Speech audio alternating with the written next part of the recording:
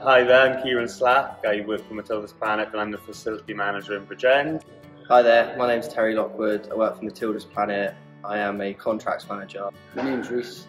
I work for Matilda's Planet because I find it rewarding when we get positive feedback off our customers. Josh, I work for Matilda's Planet and basically we install and manufacture the product here.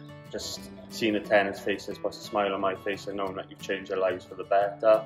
I like obviously doing the install um, and once it's all finished, seeing the uh, reactions of the tenants or the people that own the property um, and walking away knowing that you've made a difference. We installed a our blanket into a, a property in Kingston not so long ago and the woman came in the, in the morning and said just after our membrane had been put on the wall that it was the first time that her and her young daughter had been able to sit in the living room in a t-shirt alone.